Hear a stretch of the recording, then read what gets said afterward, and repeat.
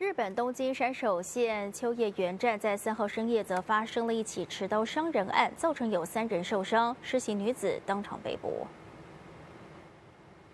事发后，有多名的警员到场，在车厢内当场制服了一名女子。这名女子涉嫌企图谋杀，已经被警方拘捕。案发在当地的晚上十一点左右，一名二十多岁女子是在列车上挥舞着菜刀袭击其他的乘客，而有三名男子中刀受伤送医，没有生命危险。其中的一名伤者表示，当时在车厢内突然遭到攻击，而持刀女子在事发前则表现得很安静，显示这可能是一起随机的砍人事件。受受到事件的影响，山手线外环方向也是一度停驶。